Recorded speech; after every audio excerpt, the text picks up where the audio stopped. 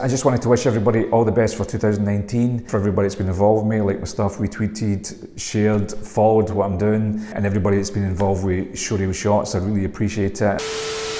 For me personally, I don't really do New Year's resolutions. I used to do them, was really crap at them, never stuck to them, never failed at everything that I planned. The main thing I don't really do them is because my kind of resolutions and re reflection on things and changing and adjusting things has to happen on a weekly, monthly basis. I can't wait a year. If I waited a year, I'm fucked.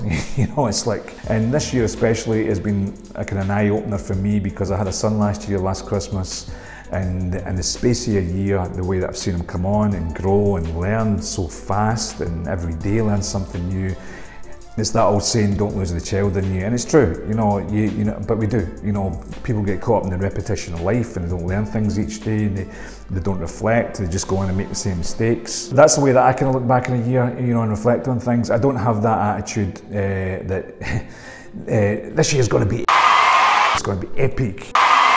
Everything doesn't need to be epic. It's not a marathon sprint for me.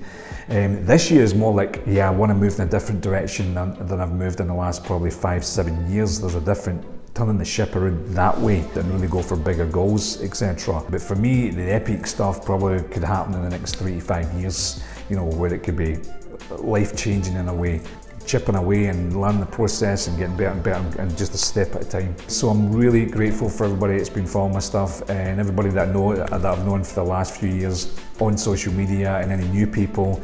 And as I said before, everybody that's been involved with Showreel Shots, I really, really appreciate it. And I hope you continue to follow my content over 2019 and I wish you all the best. Thanks very much.